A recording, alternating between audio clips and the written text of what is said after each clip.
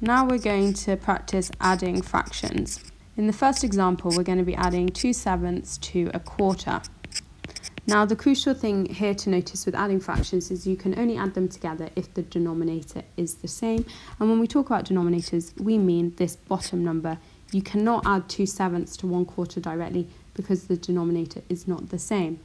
So we need to work out what is the common denominator that they both go into. So we need to work out what number that they both go into.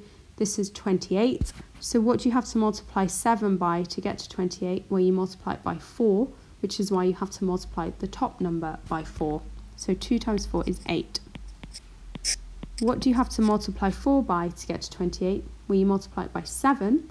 So we therefore need to multiply the top number by 7. So 1 times 7 is 7. And now we're ready to actually do the math because the denominator is now the same. 8 plus 7 is 15. We put that over 28 and the nice thing here to do is to simplify. We want that fraction in its simplest form, however it can't be simplified further because there isn't a number that goes both into 15 and 28. In this second example we're adding a third to a half. The denominator is not the same, so what number does 3 and 2 both go into? That is 6. How do we get from 3 to 6? Well, we multiply 3 by 2, so we need to multiply the top number by 2. 1 times 2 is 2. How do we get from 2 to 6? Well, we multiply 2 by 3. So we need to multiply the top number by 3. 1 times 3 is 3. They have a common denominator, so we can just add them together to get a value which is 5 sixths. Now we're going to practice subtracting fractions. The principle is extremely similar to adding them.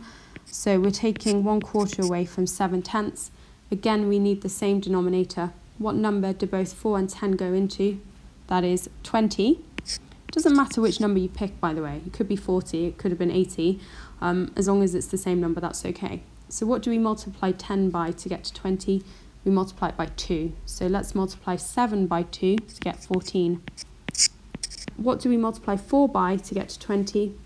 Well, the answer here is 5, so we need to multiply 1 by 5, so that's 5. 14 take 5 is 9, so 9 over 20 is your answer. Taking a second example now, so we're taking 1 quarter away from 4 sevenths. What number do both 7 and 4 go into? Well, that is 28. So what do we have to multiply 7 by to get to 28? That is 4. So 4 times 4 is 16. What number do we multiply 4 by to get to 28? Well, that is 7. 1 times 7 is 7. Now all you need to do is take 7 away from 16 to get 9 over 28. And that is your final answer. Hope you found this video helpful guys. Don't forget to sub and like it if you want to see more similar videos and I'll be back soon. Bye!